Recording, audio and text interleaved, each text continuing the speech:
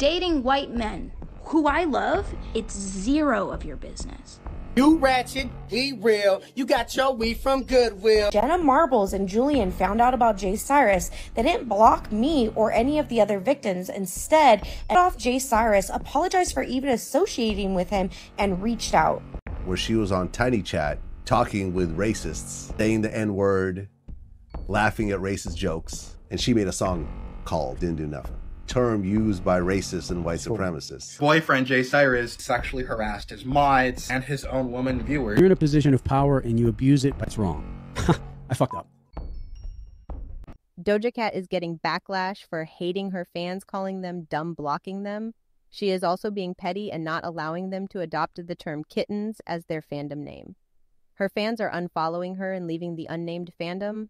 Her PR team is in crisis and has made an old fan interaction go viral. There's this new video of Doja Cat interacting with fans that has gone viral. Oh my god. Doja, I love you. ran a mile. I love you so much. I love you, Doja. Can I give you a I love you, Doja. Oh my god. I love you.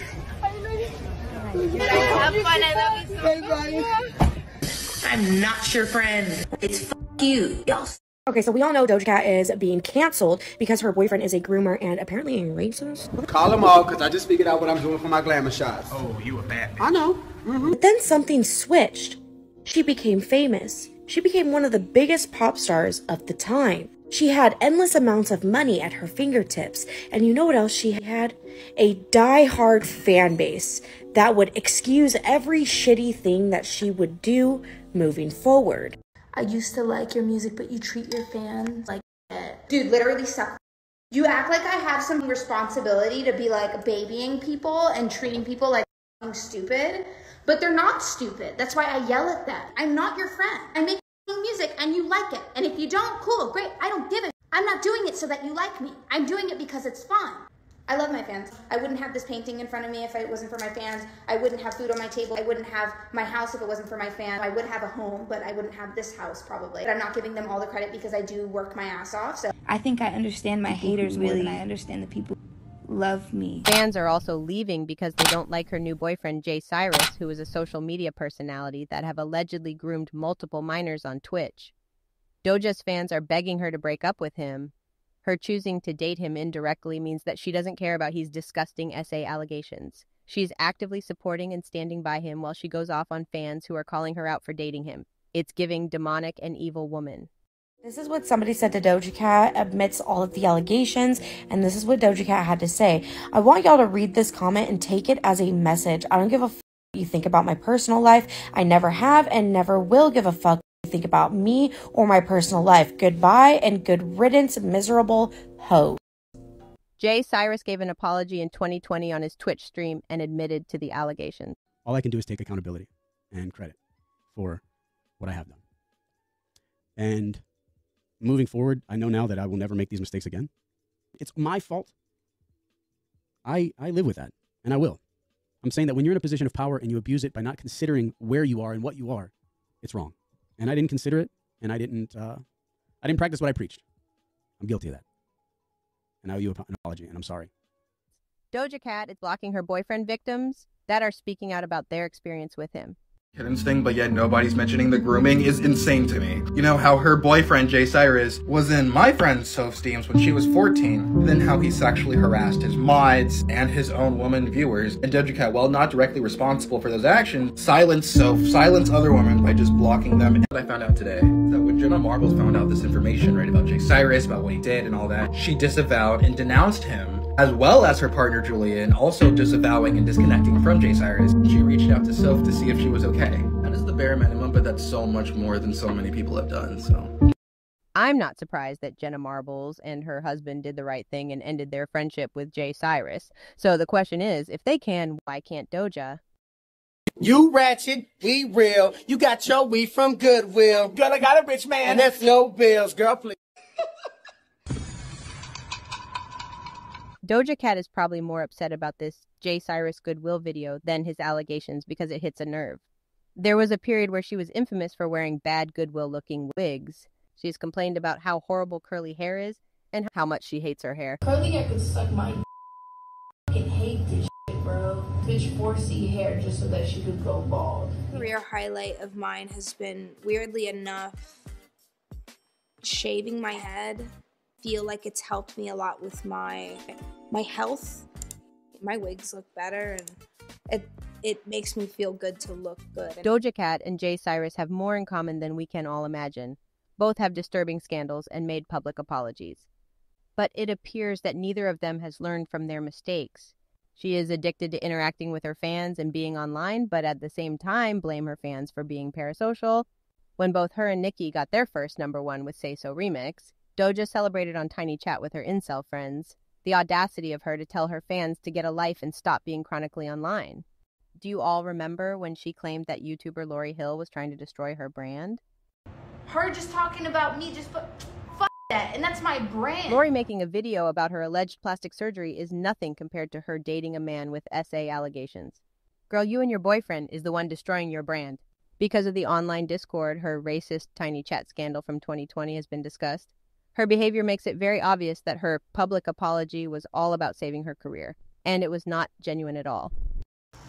I I have woken up like just like this. I've woken up like this. Uh, what's your favorite Beyonce song? Beyonce is the cream of the fucking crop. Beyonce is the reason why I believe that I can be who I am. Like I said, she was exposed being on Tiny Chat, basically hanging out and talking to racists, saying the N word and laughing at racist jokes, and stood by while others made racist comments against a black guy. She also used to strip for white supremacists, which is interesting because she's got a song called Cyber Sex. The whole incident started the discussion about Doja got a weird fetish for race play and kink humiliation, since she actively exposes herself to racist abuse and constantly seeks white validation. Enjoy my Shout out my baby. Night Doja. So easy and loose. Let's go to the inn. And only two syllables. Yes, Daddy. Oh, oh my god. Her shirt reminds me of a oh, baby duck. Uh, Would you feed a tube into my at the end and pour all types of liquor down there? Oh, Certain message boards at that time made claims that while Doja was on these sites, she allegedly admitted to hating her blackness and only liking her thick and light skinned features. Hey, so uh, if you're stupid as f, you probably left a comment under this picture talking about this. Hey, how about I'm half white, not entirely black? My skin gets very light when I don't tan. I was staying indoors a lot before that shoot. New fing subject. Her mom is white and her dad is South African. It seems like she has identity issues, especially since she looks more like her dad than her mom. Her dad has never been in the picture. She grew up only with her white side of the family. Her racist tweet resurfaced saying thinking about being black can make any sensible person depressed. Like, just think about it. When they wouldn't being white makes so much more sense. Life would have value. She made a racist song that mocked black people who gone through police brutality, called Didn't Do Nothing, which is a term used by racists and white supremacists that originally started on a 4chan chat room, where people were making fun of the murder of Mike Brown and has since been used when black people are murdered by police. And when Klan leader David Duke uses this term on Twitter, it proves how common it is among white supremacist groups. People suspect that the song is a reference to Sandra Bland, who died in police custody in 2015 beginning of her career when her fans actually held her accountable and made her apologize for the shitty things that she did, she actually issued apologies, saying that she is so sorry she was ever in those racist chat rooms and that she's not a racist. That song is in zero ways, in no way connected to police brutality or Sandra Bland. And this is where I'm saying, shut the fuck you, and then I say hard R, the N word. Maybe some of you thought that I was saying, uh, call me the hard R N word. I'm in no way into race play. She even started in 2022 revisit tiny chat rooms again, the place that almost destroyed her entire career. You should, you should take my and you should fuck like make friends with it. Like it's a big deal. Yeah, you good ass. Yeah, right? Oh, yeah. Some fans are speculating that her social media antics is all an act for her Scarlet era, or that she is trying to get out of her bad record deal with Dr. Luke's label, which she signed when she was only 17. But I'm not sure if this is the case because why would she want to sabotage her own career and downgrade her lifestyle? She would be forced to make less money and be in debt to Dr. Luke. Instead of trying to sabotage her career, she should try to terminate her contract with her label and negotiate a new one. Like 30 Seconds to Mars did. Artists cannot be bound to a contract for more than seven years in California, and she had been signed for 10 years. Signed for nine years under California law. You can't be held bound to a contract for more than seven years, which the courts and myself and we all feel is pretty reasonable. On July 4th, 2008, we sent a termination letter to EMI. We cited the seven year statute, which legally ended our contract with the company. Alleged leaked screenshots from group chats with her reveal how bad her contract really is. She wrote, I died before I got out of my contract with Dr. Luke. What I found very interesting is that Doja has fast forgotten that she was treated like expired shelved music by her label. In 2013, the same year Doja signed to Dr. Luke's imprint, he signed another female artist named Elliphant. It became very obvious that Doja was not seen as marketable act. He pushed and promoted Elliphant from day one. They were in studio working on music right away. He set up a showcase for her so she could perform in front of as many influenceable people in the music industry. At the same time, Doja was performing at home parties and different LA underground hip hop scenes. He also made sure that Elliphant was in the studio working with other popular producers like Diplo, Sonny Moore, and Major Lazer. Doja Cat was not that lucky. She didn't get any opportunity to have her own showcase or work with influential producers. That same year, Elliphant released her first album and single with Sonny Moore. Doja was continued to perform at underground parties in LA, still not getting any type of marketing or push from her label. She was forced to operate more like an independent artist. I, I feel proud that I found this and I reached out and I brought you to this show. Respect, show. Definitely love your music. Thank yo. you. Keep doing that shit. Uh, where can cats find your shit? Alright, uh, you can look me up on SoundCloud at uh, Ami Zandile, but I suggest that you go African ass. But I suggest that you go to SoundCloud and then uh, type in Doja Cat. And Between 2013 and 2016, Elliphant released one EP and three albums. During the same period, Doja only released her one EP per. The striking difference between them is fascinating. Doja had to wait until 2018 to release her first album. The label really wanted Elliphant to become mainstream. They really tried the Rihanna format of releasing one album every year. But that only works if you are Rihanna. It didn't help that Elliphant was trying to be wannabe Jamaican with her music. We just sat down and started to do music the way it's supposed to be done, like uh, jam it, jam it. Uh, and yeah, it got insp- inspired by, by the moment and, you know, made a wicked song. And with her singing fake accent to the point that people and even musicians didn't understand what she is singing about.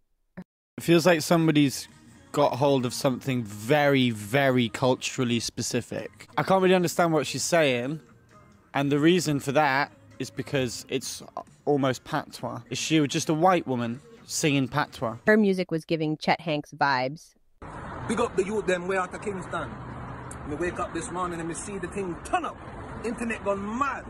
Respect, you don't know. Me soon forward a yard. Booyaka, booyaka. Urgh. She was finally allowed to release her first album, Amala, in 2018. But the label gave the album zero marketing and support. Out of frustration, Doja was forced to resort to making meme music to try to get a viral hit. She made Moo all by herself in one day. The funny music video went viral. The success of Moo is believed to have proved to her record label that Doja was a marketable act. Turns out Doja never needed to team up with hit producers, she only needed herself. had intention of making like meme music that would maybe reach a wider audience that would make people go what the hell is this i should share this and Doja's label boss, Dr. Luke, has worked with all the pop girls from Katy Perry, Miley Cyrus, Rihanna, and Britney Spears. He never believed in Doja Cat's potential as an artist and only chose to invest in her after her meme song went viral.